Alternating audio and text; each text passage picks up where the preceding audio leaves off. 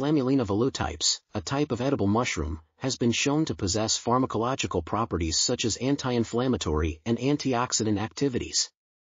Recent research has focused on the brown strain of F. velutipes, a hybrid between the white and yellow strains, to investigate its potential renoprotective effects against cisplatin-induced acute kidney injury, AKI.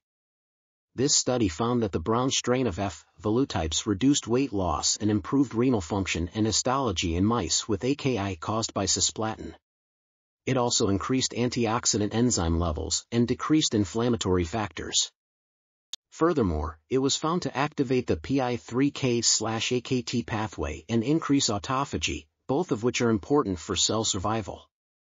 These findings suggest that the brown strain of F. velutipes may be a promising candidate for use as a natural treatment for AKI. This article was authored by Ya-Ni Chou, Min-Min Lee, Jeng-Shyan Deng, and others. We are RTCL.TV, links in the description below.